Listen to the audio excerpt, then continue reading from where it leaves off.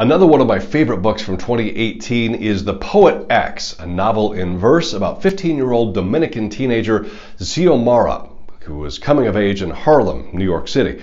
She's been fighting all her life, struggling to make her thoughts known. X, as she likes to be called, keeps a secret journal of her thoughts about her mother's strict Catholic rules, about boys and grown men who catcall to her because they assume her body shape means she is sexually active about her twin brother who is hiding secrets of his own.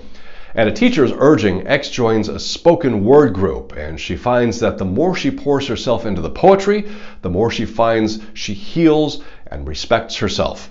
Like I said, this is one of my favorite books published in 2018. Don't miss the wonderful Poet X.